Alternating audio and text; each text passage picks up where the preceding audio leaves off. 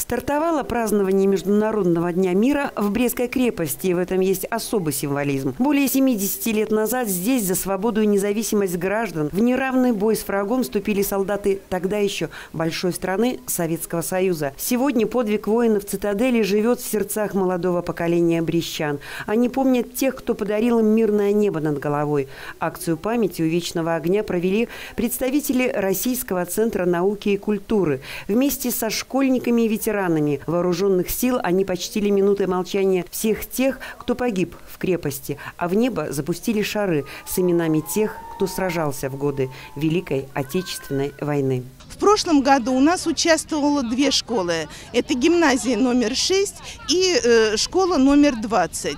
Э, в этом году к нам присоединилось еще две школы. Средняя школа номер 18 и средняя школа номер 1.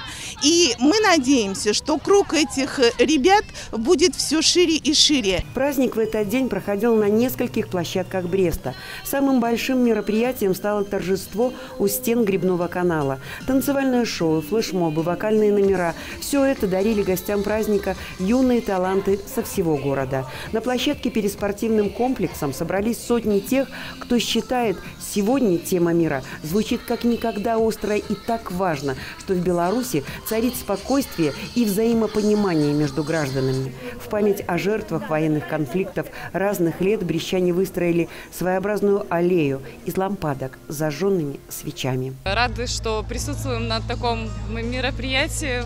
Здорово, что наш Брест организовывает такие встречи.